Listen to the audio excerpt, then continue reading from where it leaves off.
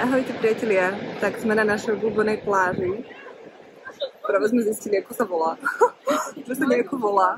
Protože posíláme souřadnice našim účastníkům, milovaným blízkým lidem, kteří už s náma byli několikrát a přijeli za náma sem a přijeli za náma na pláž se vykoupat a jedou z jedné strany ostrova, tak aby jsme je navedli.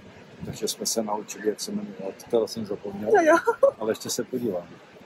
No, priatelia, tak vám to chceme ukázať, opäť, čo sa tu zrodilo, čo sa tu rodí. Naše pranické pobyty, pranické prechody.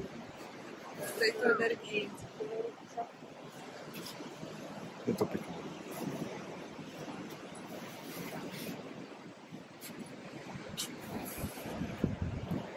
Takže tak, Tak vás pozdravujeme do Československa. jdeme se ještě namočit, než nám přijdou teda účastničky. Ahoj. Mějte se.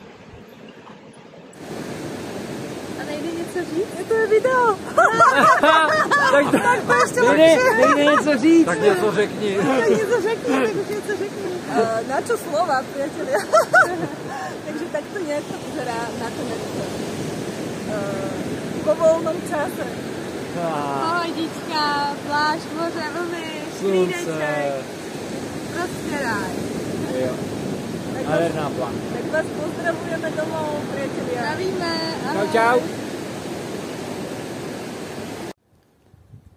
Tak ahojte, přátelé. Chceme vás ještě na rychlovku pozdravit.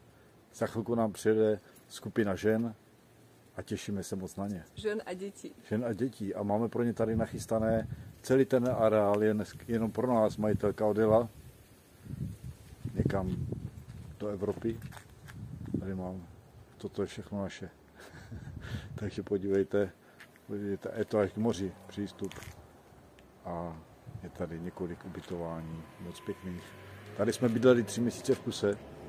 Máme tady k tomu vztah, trochu takový, trochu takový domov.